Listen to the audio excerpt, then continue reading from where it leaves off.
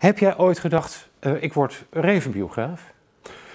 Dat heb ik natuurlijk ooit gedacht, want anders was het nooit gebeurd. Maar um, in, in, in, je vroege leven bedoel ik? Nee, nee, nee. Kijk, ik bedoel, vroeger uh, dan wilde je altijd brandweerman worden of paus. Um, maar revenbiograaf, dat is toch pas heel laat aan mijn geestelijke horizon verschenen. Het komt er eigenlijk op neer dat het min of meer bij toeval gebeurd is, zou je kunnen zeggen.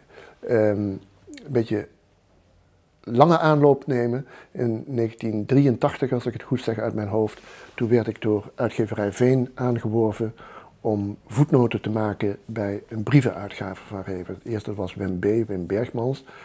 Um, en dat kwam omdat uh, mijn voorganger, Sjaak Hubrechtse, die een groot Revenkenner was en die zich daar ook helemaal ingestort had, um, die was ontslagen min of meer als voetnotenmaker omdat hij kennelijk te hinderlijk werd. Hij stelde te veel vragen en... Uh, nou ja, Aanre aanreven. Aanreven en zijn uh, levensgezel Joop Schafthuizen. Uh, er zat altijd een beetje een soort, ja, hoe moet ik het zeggen, een soort animositeit ten opzichte van iedereen die iets met Reven wilde. En dat lag niet zozeer aan Reven, want die vond op zichzelf wel vaak flauwekul dat al die mensen dat zo belangrijk vonden. Maar die ging mee en die dacht natuurlijk ook aan zijn winkel.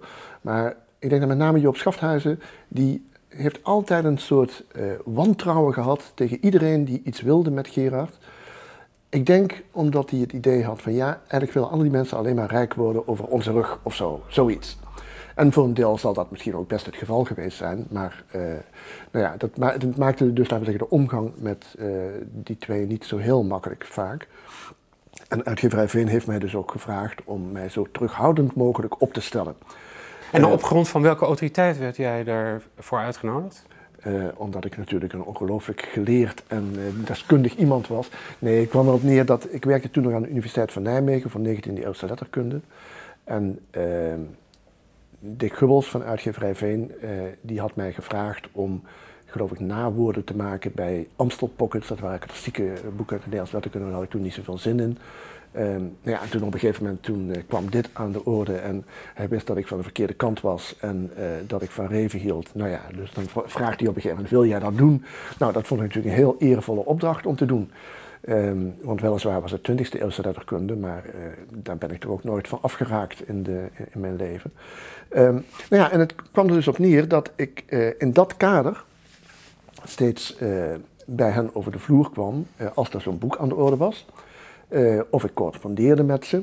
En, en, en, wat deed je dan als je ze, als je ze opzocht? Je moest teksten doornemen? Of, uh... Nou, wat, wat met name de bedoeling was, was natuurlijk dat je uh, informaties vroeg voor die voetnoten. En ja, was, af en toe was dat een beetje raar hoor, want kijk, er, er, was altijd al het, het basale misverstand over wat eigenlijk de bedoeling was van die voetnoten. Kijk, ehm, voor mij als voetnotenmaker was de opdracht in principe dat je zo'n tekst toegankelijk moet maken voor de lezer. En daar, in dat kader doe je dat. Dus je wil eigenlijk zoveel mogelijk informatie daarin stoppen. Uh, voor Reven was dat helemaal niet duidelijk dat dat de bedoeling was. Die dacht eigenlijk dat dat een soort geleerd versiersel was, waar je op een of andere manier de mensen mee imponeerde of weet ik wat. Maar dat de bedoeling was dat je daar informatie in overdroeg, dat was vaak helemaal niet de bedoeling. Dus ik bedoel, er zijn een paar keer van die gevallen geweest dat, ik herinner mij bijvoorbeeld dat uh, toen ik de brieven aan Frans Pannenkoek moest maken. De graficus. Ja. Toen uh, moest ik daar noten bij gaan maken en ik kon helemaal niks vinden. En toen heeft, uh, volkomen op zijn eigen initiatief overigens, de uitgever Johan Polak, die toen al hevig gebrouilleerd was met Reven en Schafthuizen, die heeft mij toen kopieën van de oorspronkelijke brieven gestuurd. Want ik moest dus voortdurend werken met de versie zoals die in het Lieve Leven gestaan had. En toen bleek mij al ras dat bij het maken van de tekst voor het Lieve Leven ze alle, data's, alle data veranderd hadden. En de eerste paar brieven waren ook in elkaar geschreven en zo. Dus dat leverde een heel groot probleem op. Want ja, ik bedoel, dat kon natuurlijk helemaal niet. Dus ik heb toen wel gedaan gekregen dat uh, die dateringen hersteld werden. Zodat het laten wat meer documenten werden. Want dat waren soorten documenten. Het werd als documenten gepresenteerd. Um, maar het probleem was dat Reven ook uh, om compositorische redenen de allerlaatste brief die in het boek stond, oorspronkelijk. En waarin hij Pannenkoek de vriendschap opzegde, omdat hij niet meer kon tegen dat sociale failliet en voortdurend die beesten die doodgingen en weet ik wel. Die ehm, eh, brief, die wilde hij per se als laatste brief. Omdat hij vond dat dat gewoon een mooie afsluiting was. Terwijl in werkelijkheid was het zo dat die brief gewoon een paar maanden eerder uh, aan de orde was. En dat een paar brieven die nu als daarvoor geschreven stonden, erna waren. En het punt was dat als je naar andere brievenuitgaven keek, dan was ook duidelijk dat dat zo moest zijn. Maar ja, hij wilde dat dus gewoon per se niet. Dus ik heb toen op een gegeven moment uh, in één week, geloof ik, elke dag een andere uh, briefkaart of zo van hem gekregen. Met weer een drogreden waarom die datum wel zou moeten kloppen.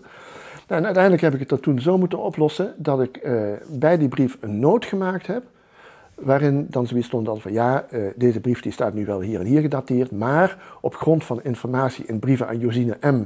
Van dan en dan, zou je eigenlijk zeggen dat die brief dan en dan gedateerd zou moeten worden. Nou ja, dat zijn natuurlijk hele rare dingen. Maar goed, kijk, aan de andere kant is het ook wel weer zo dat Reven is een, was toen een levende schrijver.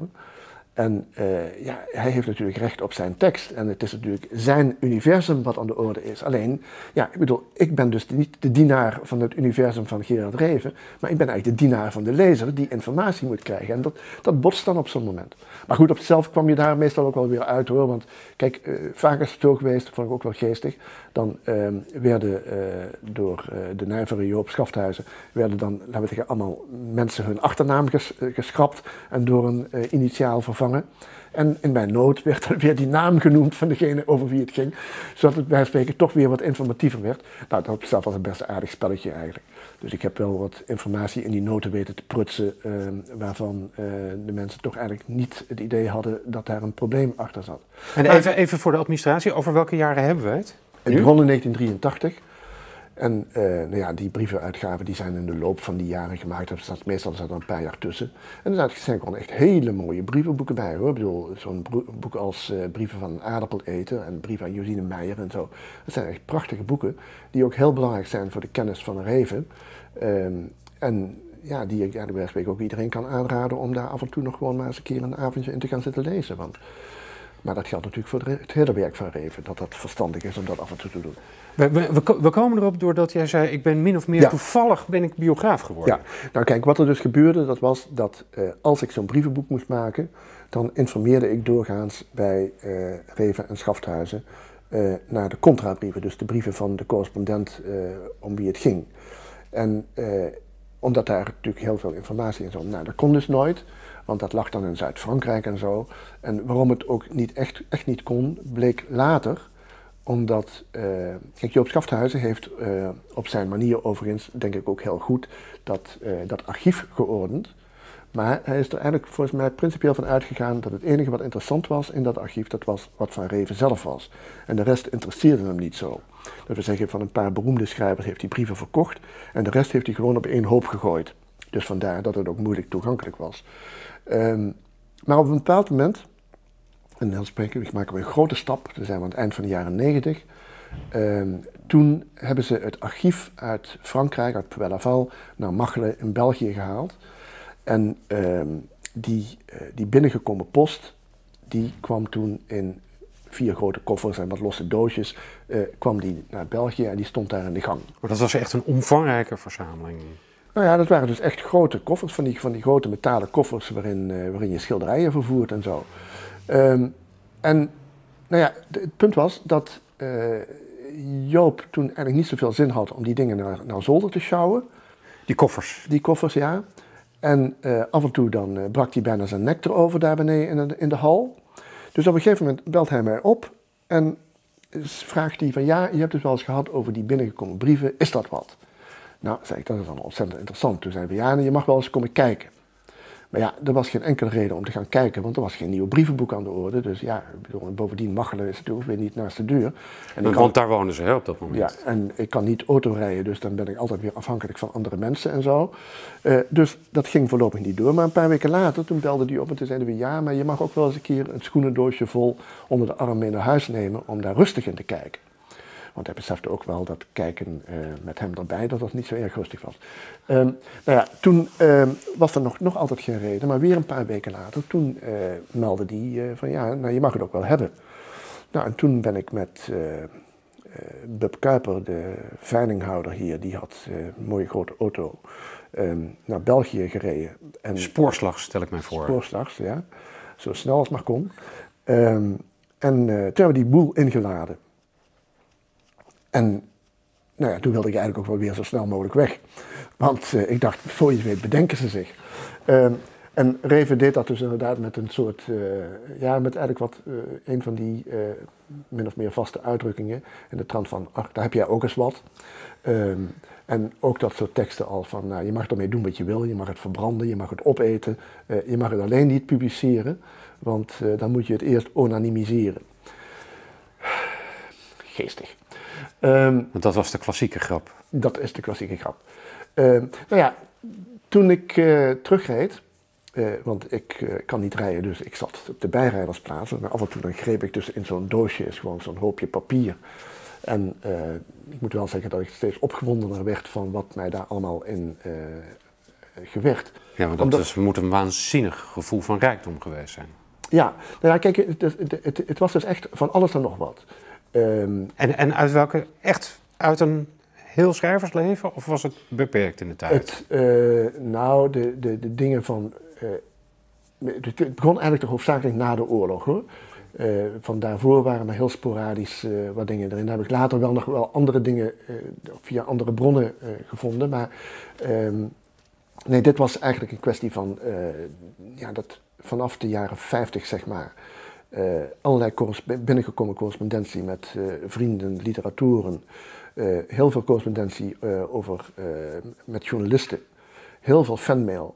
Uh, rekeningen van uh, god weet wat allemaal bij spreken van. Uh, bedoel, je, je kon zelfs de recepten van Le Docteur Beau in Poëlaval, waarin de diverse antidepressiva die de heren in de loop van de tijd voorgeschreven werden, zaten er gewoon bij.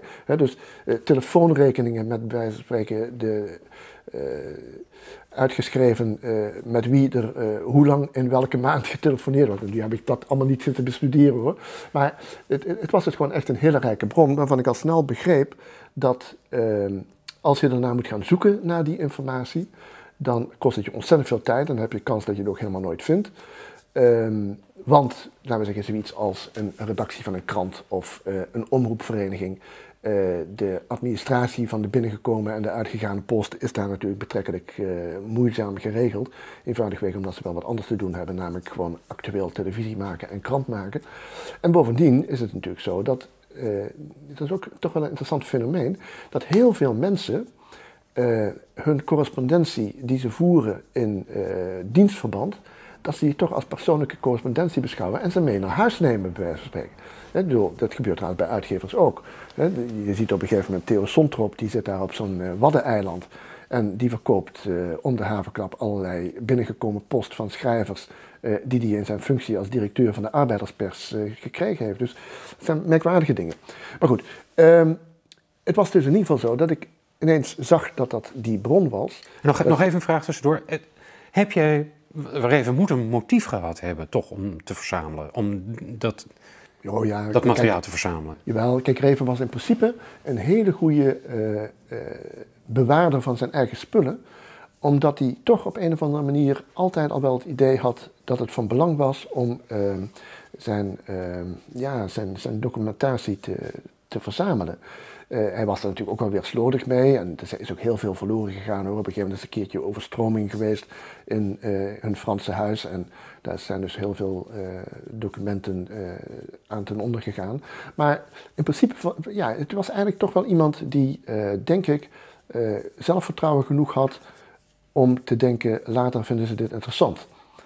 En ja, er zit ook iets dubbels in natuurlijk, want hij was er ook van overtuigd dat het allemaal flauwekul was en dat ze later toch alles weggooiden. Maar ik denk toch dat... Want zo gemakkelijk werd het ook aan jou meegegeven, uiteindelijk. Ja, maar dat kwam ook wel een beetje omdat het natuurlijk allemaal van andere mensen was en niet van, uh, van Reven zelf. Dus wat dat betreft uh, denk ik dat het... Uh, ja, ach. Kijk, er zat natuurlijk ook een heleboel flauwekul bij. maar ja, toch ook wel hele leuke dingen. Ik bedoel, wat ik me bijvoorbeeld ook nog herinner, dat is ook zoiets waarvan, ik dan, waarvan je niet begrijpt dat men het bewaart. Dat is op een gegeven moment een van de dingen die, ehm, waar ze erg fel op waren, terecht overigens, dat waren piratenedities. En daar had op een gegeven moment iemand een keer zo'n soort gestenceld uh, boekje gemaakt met de brieven van Reven aan uh, het tamme varken was dat geloof ik, ja. Uh, dat, Michiel Adriaansson Schmid heette die geloof ik. Uh, en die werd dus door Reven het tamme varken genoemd, waar hij niet blij mee was. Ehm, en die heeft dus van die brieven gekregen van Reven en daar heeft dus iemand op een gegeven moment een, uitgaafje van gemaakt. En dat heeft Joop Schafthuizen in beslag laten nemen, bij wijze van spreken. En vervolgens is hij al die dingen helemaal gaan doorscheuren. En dat vind ik dan op zichzelf wel weer heel interessant om te zien, dat je het enerzijds, uh, dat je dertig van die dingen, wat niet, niet, eens zo makkelijk is hoor, je moet er veel kracht voor hebben om zo'n om zo'n pakje papier door te scheuren, om ze allemaal door te scheuren, maar ze dan bovendien allemaal nog te bewaren ook. Dat vind ik zo weer iets wat raar. Dus ik zou zeggen, je kunt het verbranden, je kunt het weggooien, maar goed. Um, tot jou drong door dat het echt een bijzondere bron was. Ja, dat was een bijzondere bron. En nou ja, weet je, in die periode was het zo dat uh, er waren al wat uh, Reven-biografen uh, langsgekomen. En die waren eigenlijk allemaal afgeserveerd. En die hadden zich gemeld zelf? Of op, op nou ja, dat, varieerde, dat, dat, varieerde een beetje. Kijk, in de eerste plaats denk ik dat bijvoorbeeld Jacques Hubrechtse uh, misschien toch ook wel al de ambitie gehad had om ooit een, een boek over Reven te maken. Um, maar op een gegeven moment bijvoorbeeld was het zo, en dan spreken we begin van de jaren negentig, denk ik. Um, Richard Huying, dat is de Engelse vertaler van, het, van Bezorgde Ouders, die, uh, ja, die had op een of andere manier een goed contact met Reven. En Reven is ook nog een tijdje op een gegeven moment met hem uh, in Engeland een paar keer een soort optreden gaan doen en zo. En die had dus met Reven min of meer afgesproken dat hij een biografie van Reven zou maken. En die jongen die had dus ook al allerlei uh, plannen gemaakt. Er stond geloof ik een soort subsidieaanvraag op, op de rol. Het was ook met uitgeverij Veen besproken. En dan moesten dan geloof ik twee assistenten ingehuurd worden voor een paar jaar om onderzoek te doen en zo. Dus echt gewoon serieus de boel aangepakt. Het enige probleem was dat Reven verzuimd had om Joop Schafthuizen in te lichten over dit plan. Met het gevolg dat toen die Richard Haring een keertje opbelde en Joop aan de telefoon kreeg en duidelijk maakte dat hij de biograaf van Reven was, ja, toen was natuurlijk het huis te klein en wordt die jongen wordt over het kanaal heen doodgevloekt en weet ik wat. En nou ja, dus dat ging dan weer niet door. En zo zijn er natuurlijk meer mensen geweest die, kijk, de, de, er is op een gegeven moment iemand nog die bij de NRC werkte. Die werd eigenlijk min of meer door Joop benoemd tot, tot biograaf. Terwijl hij er zelf geloof ik niet eens zo heel veel zin in had. Pieter Kotman was dat. Uh, en die werd dan natuurlijk ook binnen de kortste keren weer afgeserveerd. En in de periode waarin we het, waarover we het nu hebben, eind van de jaren negentig, toen ik dus die koffers met spullen gekregen, gekregen had, toen uh, was eigenlijk Tom Roduin de beoogde biograaf. Ook uh, redacteur van NRC Handelsblad. Ja, die was, uh, werkte bij NRC Handelsblad, heeft bij Haagse Post gewerkt en zo. en daar waren Schafthuizen en Reven het over eens dat hij het moest worden? Ja, en dat, dat kwam ook een beetje omdat ter hoogte van de, wat zal het zijn, de 75e verjaardag van Reven, dat was in 98 dus. Ehm, toen had Tom Roduin nog zo'n televisieportret gemaakt van Reven. Ja, en of het nu echt de bedoeling was dat hij een biografie zou maken, dat weet ik ook niet helemaal zeker. In ieder geval is het zo uh, dat uh, Joop Schafthuizen mij wel eens een keer gezegd heeft. Maar ja, dat, maar Tom, dat was ook helemaal niet serieus. Het was eigenlijk vooral om ervoor te zorgen dat hij af en toe op bezoek kwam. En dat Reven dan nog eens een keer wat aanspraak had. Nou, Want Reven was er op hem gesteld. Um, ja, ik denk dat die, wel, dat die wel met elkaar door één deur konden. Hoewel bij Reven is uh, gesteld zijn op iemand, dat is altijd een momentopname. Hè? Ik bedoel, uh, je kunt bij iemand als schrijven, uh, bij spreken, twintig jaar vriendschappelijk het idee hebben dat je omgaat, maar van het ene moment op het andere kan het ook wel zo zijn dat je eigenlijk een teringleier bent die dood moet en die nooit geboren had mogen worden. Maar goed, in ieder geval, dat, Tom Rodan was dus degene die het moest gaan doen. En uh, ja, dan krijg je het grote probleem dat hij het archief wilde zien. Wat op zichzelf een voor de hand liggende gedachte is als je een biografie wil gaan maken. Maar Joop uh, die heeft altijd ontzettend moeilijk gedaan over dat archief. Um, het heeft denk ik iets te maken met het feit dat uh, hij heeft daarin geïnvesteerd om dat te, uh, te ordenen. En ja, eigenlijk is dat van hem dan.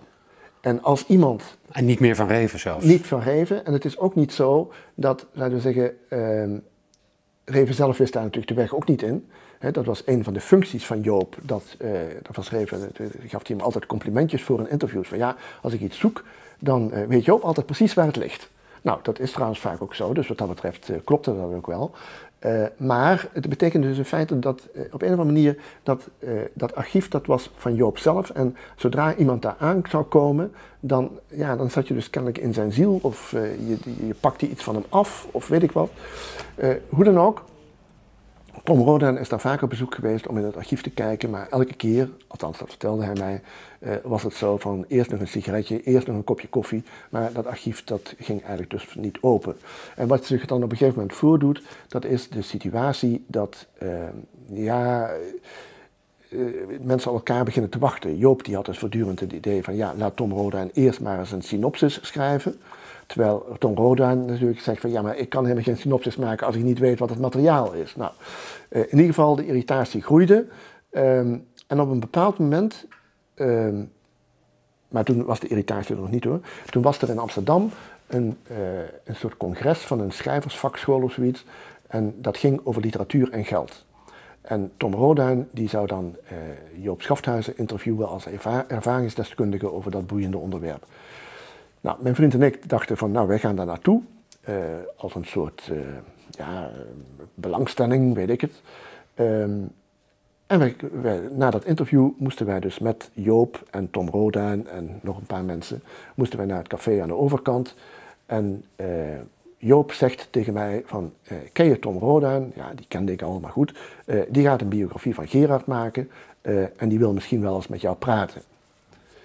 En toen zat ik dus voor het blok uh, want ik dacht van ja, ik kan nu niet doen alsof ik niet een biografie wil gaan maken. Want dat was jou inmiddels op grond van die rijke bron die je in handen... Inmiddels was ik natuurlijk toch een beetje op het idee gekomen van ja kijk, de, als je dit, deze informatie hebt, dan is dat impliciet de opdracht om een biografie te maken. Dat hebben ze nooit zo bedoeld, denk ik. Maar kijk, weet je, ik kijk natuurlijk gewoon naar uh, documenten uh, als literatuurhistoricus. En als literatuurhistoricus eh, maak je op een gegeven moment voortdurend, bedoel, eigenlijk vertaal je wat je tegenkomt meteen in, kan ik daar iets mee, moet ik daar iets mee? En mij was dus snel duidelijk dat ik hier eigenlijk wel iets mee, eh, mee zou moeten en ook wel iets mee zou kunnen. Um, maar goed, ik moest dus toen op dat moment uh, met de billen bloot. Dus uh, ik uh, haalde diep adem en uh, meldde van ja, nou, dat ik wil best met Tom Roda praten, maar misschien wil ik zelf eigenlijk ook wel een biografie van Gerard maken. Ja, dan, toen verschoot Joop natuurlijk van kleur, ehm, want dat is ook heel typerend voor Joop. hij wil namelijk voortdurend de regie over alles. En zodra er iets gebeurt wat, waar hij niet de regie over heeft, wat hij niet zelf bedacht heeft, dan heeft het ook geen bestaansrecht. Uh, dat, dat, is eigenlijk in de loop van de tijd is dat ook steeds geweest met allerlei plannen die er waren. Uh, als het niet Joop zijn eigen plan was, dan ging het uiteindelijk eigenlijk niet door. Ik noem maar een voorbeeld. Op een gegeven moment had geloof ik Henk Spaan had dat bedacht dat, uh, ik geloof ook weer voor die 75 verjaardag van Reven, of de 70 wie zal het zeggen, ehm, dat er een eenmalig een uh, Reven scheurkalender moest komen. Nou, dat leek de uitgever een ontzettend leuk idee. Het was natuurlijk ook een leuk idee. Uh, en, uh, maar het was niet Joop zijn idee. En op een gegeven moment was het zo dat... Ja, ik was al een hele tijd bezig om allemaal citaten te verzamelen en weetjes te verzamelen voor op die kalender. Maar op een bepaald moment was het natuurlijk toch zo dat omdat Joop zijn eigen idee niet was, het uiteindelijk toch weer helemaal gecanceld werd. En dat is eigenlijk heel vaak gebeurd. Maar goed. Um, en, die, en die bui zag jij hangen? Nou ja, ik weet niet of ik die buik toen al zo heel expliciet zag hangen, maar het punt was wel dat ik wel zeker wist dat eh, als hij tegen Joop zegt dat je iets wil gaan doen wat niet zijn idee is, dat het een probleem was.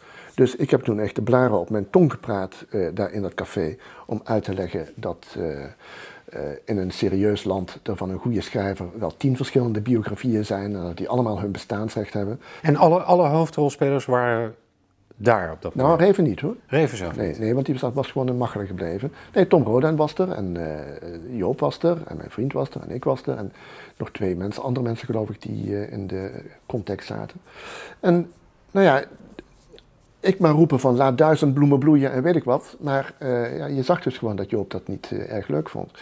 Uh, hij is toen achteraf geloof ik ook nog bij de uitgeverij gaan informeren of ik soms al een voorschot gevraagd had en zo. Want hij vertaalt, zoals ik alles vertaal, in de vraag van kan ik daar iets mee, moet ik daar iets mee? Zo vertaalt hij alles in voorschotten, uh, of althans in financiële opbrengst. Um, en dat was natuurlijk helemaal niet het geval, want ik had het met die uitgever daar totaal niet over gehad. Um, maar wat zich dan vervolgens voordoet, dat is dat op het moment dat de, de, de irritatie uh, over Tom Roduin groeit, Ehm, dan begint uh, Joop je in zijn plannen te incorporeren. En ehm, de eerste keer dat Tom Roduin uh, min of meer in ongenade viel, toen, omdat hij natuurlijk ook zelf, uh, Joop zelf ook aangekondigd had dat Tom Roduin de biograaf was, toen moest er een mouw aangepast worden. Toen heeft Joop het plan bedacht dat er een biografie gemaakt ging worden door vier personen. En die moesten dan vergaderen in het het extra huisje in de achtertuin van uh, het huis in Machelen, de Loze Vink geheten. Uh, dat was een huisje dat, het was het, het, het, huis van een, van een arts. En in dat huisje had geloof ik een dochter een tijdje gewoond of zo. en dat zou dan een soort documentatiecentrum worden. En de verdeling was dan dat, ja je moet er maar opkomen, dat Tom Roduin, die zou dan verantwoordelijk zijn voor het audiovisuele materiaal. Theodor Holman, die weer, was weer bevriend met Tom Roduin. Uh, die moest dan de jeugd van Reven doen, want daar had hij ook in de Groene Amsterdammer over uh, geschreven. Uh, ik moest de brieven bestuderen en Joop zou de foto's bestuderen. En dat geheel zou dan ooit moeten resulteren in een biografie van Reven. Dat wist niemand hoe dat moest hoor. Maar dat maakt ook niet zoveel uit, want Theodor Holman en Tom Roduin en ik hebben toen nog eens een keer ik geloof Amerikaan was dat, uh, even een keer uh, gesproken met elkaar. En wij kwamen al snel tot de conclusie van, kijk, uh, wij gaan elkaar niet dwars zitten. Het was toen zo dat uh, Tom Roda en Theodor Holman, die wilden dan samen een boek maken. Ik heb gezegd van, ja, daar begin ik niet aan, ik ga niet samen zo'n boek maken, dat kan ik ook helemaal niet. maar hebben we toen afgesproken, het belangrijkste is dat die informatie beschikbaar komt. En dat dat niet daar voortdurend maar, wij spreken, steeds eh, verder verspreid raakt en weet ik wat.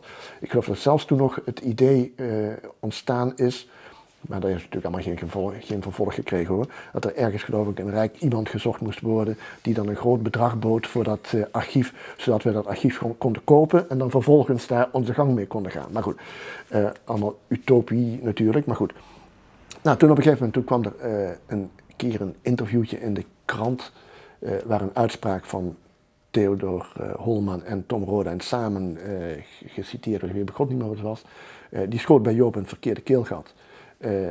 en dan krijg je dus ook weer die merkwaardige situatie dat die ene uitspraak die aan allebei toegeschreven wordt, dat Tom Roduin daardoor in ongenade valt, maar Theodor Holman niet. Dus hoe dat kan, dat is mij allemaal raadselachtig. Maar goed, toen deed zich dus de situatie voor dat Tom Roduin ontslagen werd als biograaf. Ja, en toen was ik eigenlijk de enige die nog over was. En um, het was een periode waarin ik wel met zekere regelmaat uh, in Machelen kwam, omdat ik toen ook het verzameld werk van uh, Reven redigeerde. Uh, en daarvoor moest natuurlijk met zekere regelmaat gewoon tekstvergelijking besproken worden en zo. Um, dus ik kwam daar over de vloer en ja, waren allemaal moeizame bezoeken hoor.